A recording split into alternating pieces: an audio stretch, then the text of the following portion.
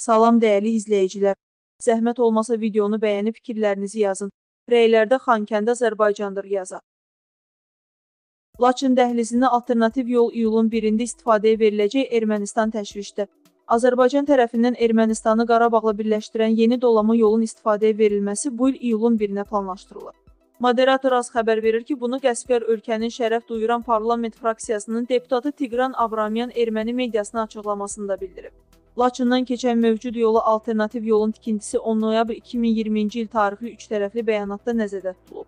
Bakıda isə məlum səbəblərdən bu bəndi tez bir zamanda icra etməyə tələsirlər. Bakının məqsədi Laçından yan keçməkdir ki, şəhər tam olaraq onların nəzarətinə keçsin.